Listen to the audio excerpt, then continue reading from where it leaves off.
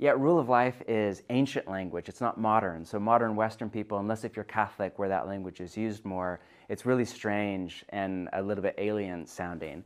And so the first thing you have to point out is it's a rule of life, singular, not rules for life, plural. So it's not like you make a list of rules for your life. It's a rule, comes from this ancient Latin word regula, which many scholars estimate was the word used for a trellis in a vineyard. It was like that under kind of wooden support structure that made space for the vine to grow.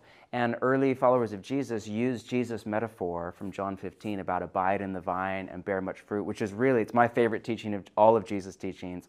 And I really think it is the center point of spiritual formation and spiritual life. Like if we can figure out how to abide or to remain or how to live in God's presence all through the day, then the natural byproduct is we will just start to bear the fruit, so to speak, in that agrarian analogy of love and joy and peace and all the rest.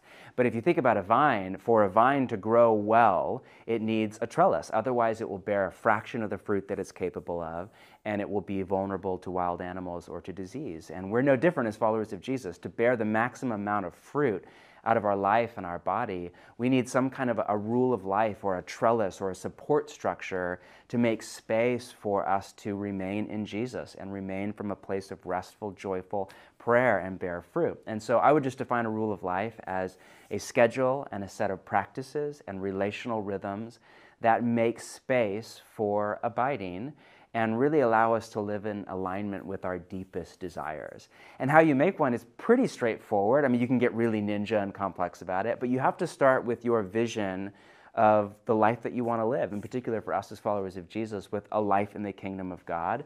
And what would, it, what would it look like for us to grow and mature into people of love? And so you start with like your vision and your values, and then you back up. And it's basically just habit stacking. Like, what are habits from the way of Jesus, or spiritual disciplines, or whatever you want to call them? We call them practices that would shape a life around abiding and prayer and rest and work and kingdom and all the things that God has for you. And then it's as simple as that. You kind of write up a rule, and it's, a rule of life is always a moving target. It will change year over year as you change, as you move to different places in your spiritual formation, as you move to different stages of life. It'll be very different for a single person to a married person to little kids to teenage kids to empty nester to death. I mean, all of these stages will be very different. So you have to constantly renegotiate it, and it's always a means to an end. Like a rule, the point of a rule of life is not to have a rule of life, it's to become a person of abiding and of love and of joy and of peace.